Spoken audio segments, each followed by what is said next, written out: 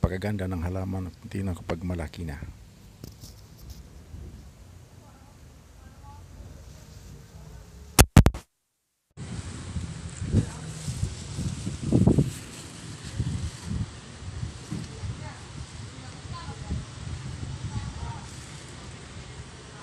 Ito mga halaman to halo-halo.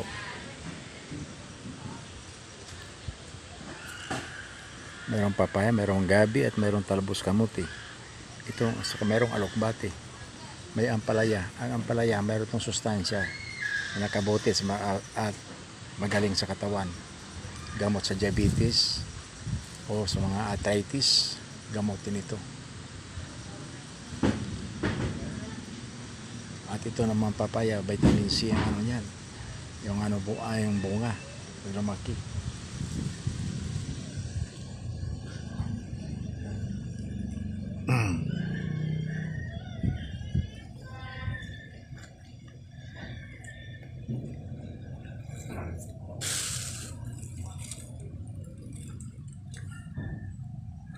Itong aloe vera na pagganda sa katawan nito.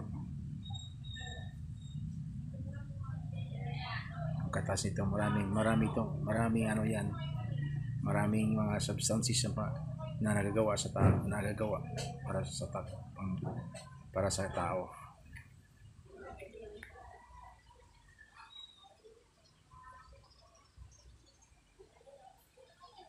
Mayroon pang okra. Ito mga halaman ito ano maganda sa kalusugan ng tao.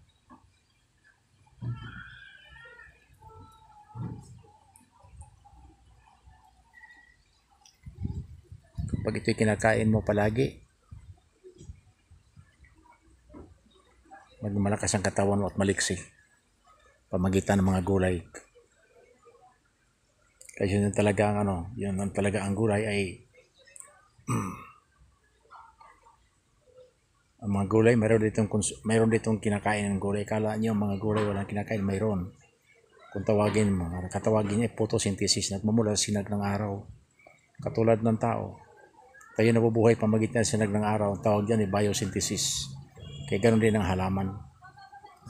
Kaya habang ano sila, habang habang lumalaki sila, nagagayad sa pamagitan ng sinag ng araw.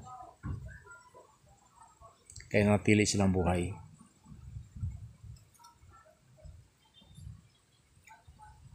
OK